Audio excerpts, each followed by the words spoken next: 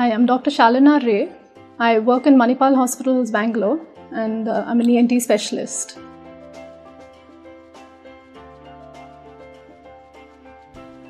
Grommets are small ventilation tubes.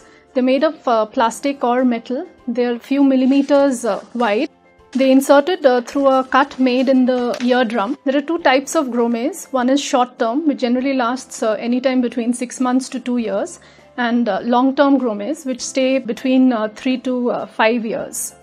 The way the grommet helps is it ventilates the middle ear and it helps in preventing frequent ear infections and for preventing glue ears.